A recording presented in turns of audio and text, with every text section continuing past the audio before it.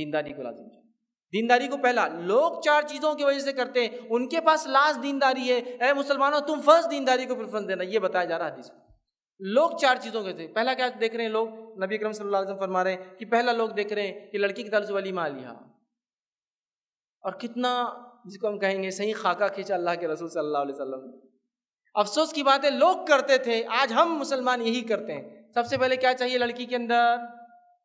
भाई बेटी किसकी है साथ लाएंगी कितना कम से कम साथ ले तो मरने के बाद कितना मिलेगा और कुछ ना हो तो कम से कम जॉब वाली हो तो महीने वाली कितना लाएंगे कुछ ना कुछ तो हो सिंपल नहीं सिंपल नहीं